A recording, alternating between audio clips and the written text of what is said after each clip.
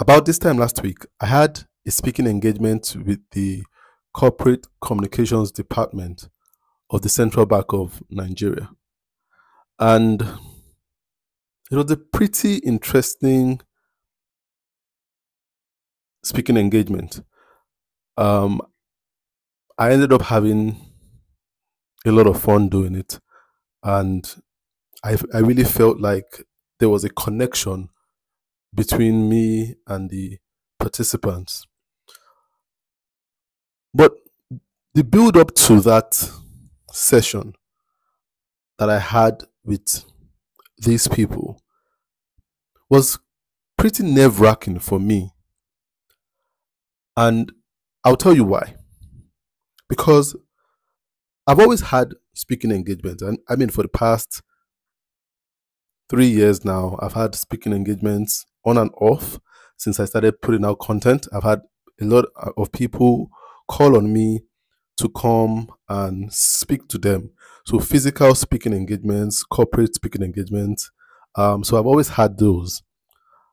But one thing I realize is that the audience, in terms of their social status, has with time gotten grander.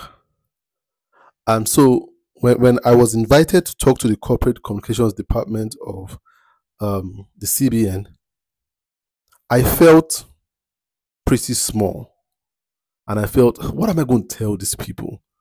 What am I going to tell them? I, I, I really don't know much about banking, if at all. I'm not I'm not an expert on that. As a matter of fact, when I showed the letter to my wife and she saw the topic I was going to be discussing, said, Tola, what kind of big topic is this? Do can you talk on this thing? Because it was so well professionally put well together, um, and it sounds so highfalutin. It was, you know, and in the moment I saw it, I'm like, I don't know how to talk about stuff like this, and those were my first instincts. You know, just Tola, I don't think you are knowledgeable enough to talk about this. And you know i take some time to breathe and just look at it very carefully and to just dumb down the words. And the wednesday before i was to go because the engagement was for thursday i i, found myself pacing and just trying to put together um, articulate what i was going to say and i tell myself tola this is not you It's not what you do you are not the guy that goes over the nitty gritty of everything you have to say. You are the guy that talks in the moment. You jot down your points and then you go from there. That's how you flow. It shouldn't be any different because you're talking to people in CBN. You've done this before. You got this. And I tried to tell myself, so I, I kind of scratched up everything I I was trying to memorize and I went there. And on going there, on getting into that, to the venue, getting to that room, and I looked at the people, I realized that they were just regular people. I realized that they were just regular people. Like me. Regular people like me. And when it was my turn to talk to them, you know, I started talking, cracked a few jokes, and they laughed. And I thought, these people laugh just like me. And as I was about to start, I felt their attention. And I could see the eyes looking at me, and I realized these people are just regular people looking for direction too. They are looking for someone to teach them, show them something they don't know. They are looking for something to cover up their insecurities too. They're just human beings. They are no different. They're no different from the designers I talk to regularly. They're no different from, from the WhatsApp, Telegram communities that I get to talk to. They are no different. Yes, their offices might be a bit more elevated, but they are no different. And I felt this overwhelm, overwhelming sense of confidence just totally sweep over me. And I felt at home. And we had an amazing time. And I realized they were just people. They were like my sisters that I talked to, my friends, just people. And you know, when I got home and I told my wife, these guys, they're just regular people. And she said, This is what you say every time. And I like I, I, I was not even aware that I always tell her this. So whenever you go somewhere, you always tell me, Well, they're not different from the regular people I talk to, the designers. And you know, it just took me back to one of the very first corporate trainings and speaking engagements I had. And you know, it was just from months of doing my um my YouTube channel then, and someone had been watching, and the person said, I love what you're doing your YouTube channel. Can you come and talk to um, a department in my office? And the first thing too, I felt really small. I'm like, who am I talking to the department in your office? These guys are corporate people. Some of these guys are older than me. I said, just come and tell them exactly what you're saying on your YouTube channel. Exactly what you're telling these creatives and designers. Just tell them. And I felt very uncomfortable. But the person encouraged me. And I went in for that um, speaking engagement. And, you know, the first day I got there too, these people came in, you know, all corporately dressed. And some of them much older than me, much older. A lot of experience in the civil service. And I had to talk to them. And when, when I got there, when they started talking, they started asking questions. And I'm like, they're asking the same innocent, insecure questions that 20 something year olds ask me. They were advanced in age, but they were still like little children. Like, they, and I just realized that everyone deep inside us, no matter how how old we grow or how high we climb in our careers, at our very core, we are little children seeking appreciation, validation, and direction. We're all little children. No matter how high, how lofty the office is, as long as it's a human being, just a little child seeking appreciation, validation, and a sense of direction. So I spoke to them that day, the very first speaking engagement I had, corporate speaking engagement, and they, they were so thrilled that months later they asked me to come back and talk to them about work ethics in the civil service. And I'm like, I've never worked a day in the civil service before. Why are you asking me? And they're like, well, you talk to us about branding. And we really love that. So now we want you to talk to more people. And you know, for me, it was very humbling. And I realized that every time I go and speak to people, no matter how lofty the office is, it's filled with people who at the very, very core just want to be heard, want to learn, want to be seen, want to be appreciated, want to be told that they're on the right path, want to be reassured. And the reason I'm saying this today is because a lot of times, for a lot of us, we feel very small in our own eyes we we underestimate the value we carry and we overestimate other people and their size. We always feel unprepared. But you're more prepared than you think.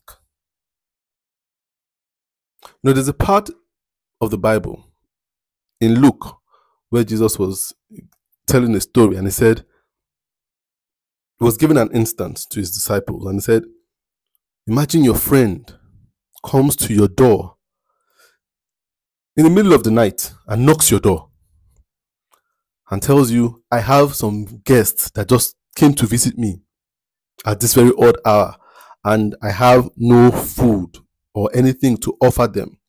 Can you give me, lend me some bread from your house? And Jesus said, even if you are in bed and everybody in your house has gone to bed and you've put up the light, the Bible says that because of your shameless audacity, the shameless audacity of your friend to come to your door and knock at that time, you will look for a way of sorting him or her out because of their shameless audacity. I think those words stuck in my mind shameless audacity. What Jesus was saying was that we should have shameless audacity. Shameless audacity. That's audacity that says, hmm, yeah, I might be young, but then I think I have something to say to these people that are much older than me. I think they can learn a few things from me. I might be inexperienced, but the little experience I have is something someone would value. Shameless audacity. And I thought about it and I'm like, who am I? You know, graphic designer, don't have a master's degree, no, barely came out with a two-two in school. Um, didn't do very well in primary school. Who am I to talk to these executives when I stand before them? But then I always feel something in me telling me, You are my son. And I've put in you something, no matter how small, that some people don't have a little piece of puzzle that everybody needs in their lives.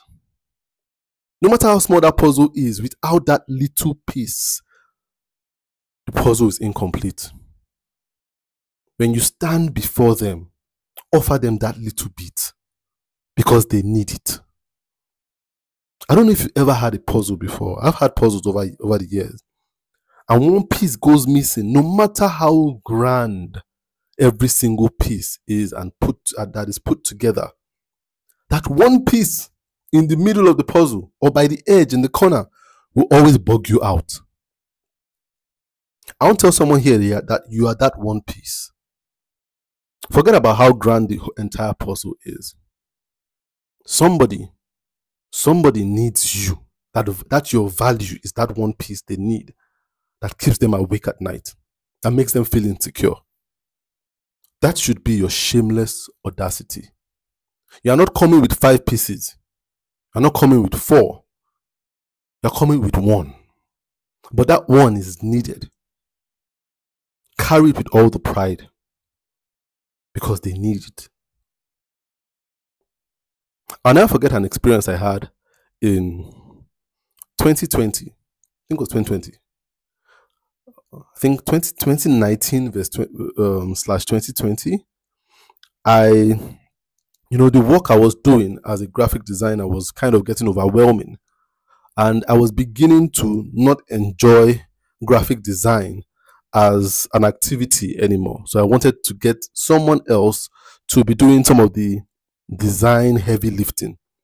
So I, I, I put out a post calling for an intern and uh, my wife helped me to draft out um, what the requirements would be and was so well drafted out very nicely drafted out you know my wife is good when it comes to structure so she wrote out all those things that we feel the person would need what the age what the expectations are where they should be based they should be based in abuja and stuff. And i put it out there it was looking so good. And i was thinking and i waited to just have people flood my email and my dms but then, first day, nobody, second day, nobody, third day, nobody, fourth day, first week, nobody, absolutely nobody reached out. And this kind of shocked me because I know that I had a lot of designers follow me and they're always saying, Oh, sir, do you have any job? Do you have any job? But then nobody reached out. So I was thinking, are they seeing this thing or is there like a shadow ban on my account or stuff like that? I put on my WhatsApp status. Nobody was biting. And I think after like a week and a half, I got a message on WhatsApp from a young man. And he told me his name. His name is Stephen. And I asked him, How long have you been designing? He said, just for about a year or so, not too long. And oh, that's not what was said in, in what was put out in the requirement. I asked him, How old are you? He said, 19. Ah, I'm like, that's just barely making the age of what we want this intern to be. I said, Do you know how to use these softwares, Adobe Illustrator, Adobe Photoshop? He said, I've just been learning, I'm just learning. Do you have a portfolio? Not really. Ah. And I said, Where are you based? And this was what this was one that blew me away. He said, I'm based in Lagos. And at this point, I said, Did you, Are you sure you read this thing well? Because I, I we clearly said Abuja. And said, I read it well, sir. And he said, and he said, I really want to work with you, sir. I've been I've been following you for years now, and I feel this is my opportunity to learn from you. I know I don't meet up to any of these requirements, but then I feel this is the opportunity for me. And I was blown away by his audacity. And I, at that point in time, you know, he validated me. Telling me he had been following me for years. He was looking up to me. He was a fan. I was his mentor and just felt like this was his opportunity. He reached out to the human part of me, not the corporate part, the human. And I felt appreciated. I felt validated. And immediately I considered him strongly, even though he didn't meet the corporate requirements he totally met the human requirement. I connected with him. I felt a connection with him. And for the whole of 2020, Stephen and I worked together. And it was an incredible experience. He was highly valuable to me. Highly valuable. I'll never forget working with him. He made 2020 an incredible work experience for me. At a point, I could trust him with my client to work on projects from beginning to the end. And you know, at the end of 2020, when I was about closing down my design outfit, I told him, Stephen, go ahead and do this thing on your own. Set up your thing. Set up your thing. Because I think you're good enough and he started setting up his thing and today he's still doing his thing. We still talk and i'm so proud of him. I'm so proud of him. I'm not only proud of his work i'm proud of his audacity. And you know months after stephen has started working with me some other designers told me oh i saw your your advert for an intern. And i asked them why, why didn't you why didn't you apply? Some people living right here in abuja and said, just seemed a little too, seemed a little too out of my width. When you wrote that thing, it just seemed like I didn't have the experience. It seemed like I didn't have the capacity. They were not audacious enough. Some of them that were audacious enough were just too late. They saw it months later. But here was this 19 year old guy stepping up to the plate and exceeding my expectations.